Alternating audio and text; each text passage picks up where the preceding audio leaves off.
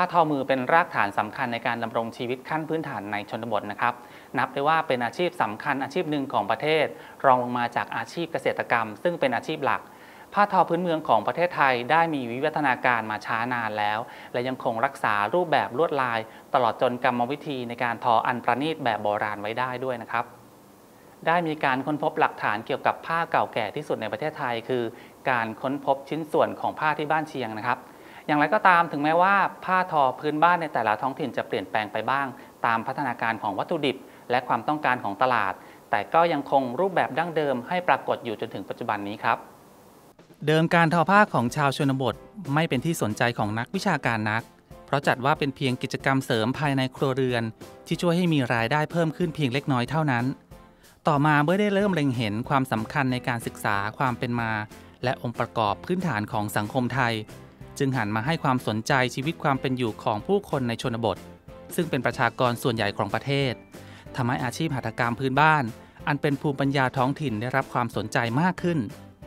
ผู้ประกอบอาชีพทอผ้าที่พบปัจจุบันส่วนใหญ่สืบเชื้อสายมาจากผู้อพยพที่มาจากแหล่งต่างๆ กัน ทั้งโดยการอพยพเพื่อมาหาที่ทำกินใหม่ บางกลุ่มก็ถูกกวาดต้อนมาเนื่องจากภัยสงคราม ได้มาตั้งถิ่นฐานตามที่ต่างๆ ในประเทศไทยมาหลายชั่วคนแล้ว กรรมวิธีการทอและลวดลายที่ปรากฏบนผืนผ้า มักเป็นแบบที่สืบทอดมาจากถิ่นเดิม เช่น ในภาคตะวันออกเฉียงเหนือ ซึ่งชนกลุ่มใหญ่มีเชื้อสายลาว นิยมทอขิดและมัดหมี่มากที่สุด ในขณะที่ภาคเหนือซึ่งเป็นกลุ่มชนที่สืบเชื้อสายมาจากอาณาจักรล้านนา มีวัฒนธรรมการทอผ้าจกที่งดงาม และภาคใต้มีการทอผ้ายกเป็นหลัก ถึงแม้ว่าในปัจจุบันการทอผ้าดูเหมือนจะคล้ายคลึงกันในทุกภูมิภาคแล้วก็ตาม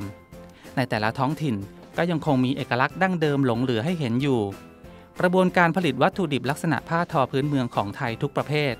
ส่วนใหญ่ผลิตขึ้นจากวัตถุดิบที่สำคัญ 3 ชนิดคือ ฝ้าย ไหม และใยประดิษฐ์หรือใยสังเคราะห์ ซึ่งศูนย์ศิลปวัฒนธรรม สถาบันราชภัฏเทพสตรี ได้กล่าวไว้ดังนี้ ฝ้ายเป็นพืชเขตร้อน ถือว่าเป็นพืชเศรษฐกิจ ชอบดินเหนียวปนทราย ไม่ชอบมีร่มเงาบัง ปลูกง่าย และปลูกได้ทั่วทุกภูมิภาคของประเทศไทย ปัจจุบันเส้นฝ้ายหาซื้อได้ง่าย แต่การทอผ้าฝ้ายค่อนข้างลดน้อยลง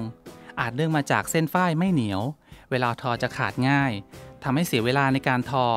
และผ้าฝ้ายไม่ค่อยได้รับความนิยม แม้ว่าราคาจะไม่แพงเท่ากับผ้าไหม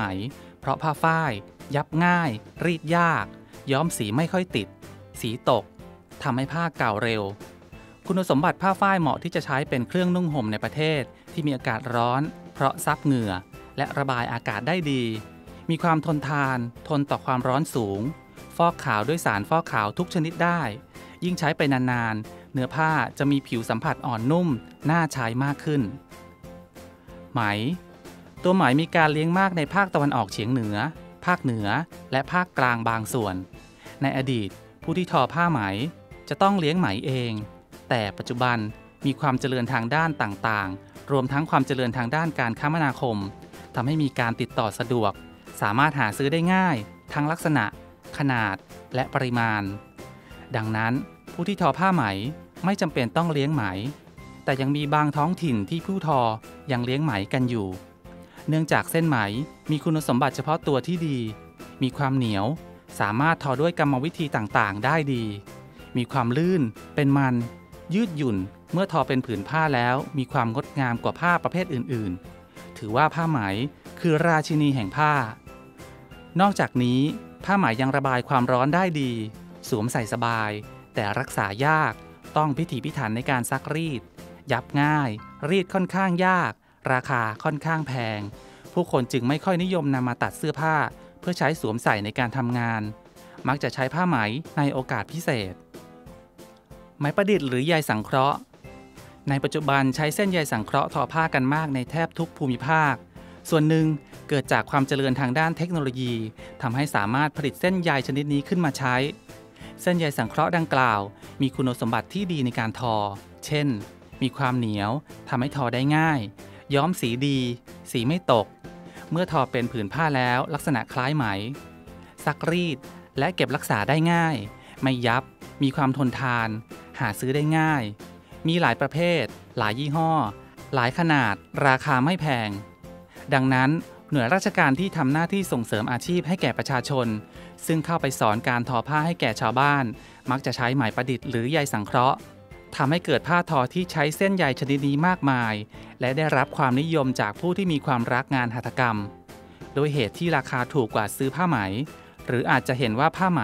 นำมาใช้สมบุกสมบันไม่ได้ จึงหันมาใช้ผ้าจากใยสังเคราะห์ดังกล่าวแทน สรุปได้ว่าเส้นใยในการทอผ้าในประเทศไทยนั้น มีวัตถุดิบหลากหลาย ที่จะนำมาใช้ในการทอ ดังนั้น หัตถกรรมผ้าทอจึงสามารถสร้างสารรค์ชิ้นงานได้หลากหลาย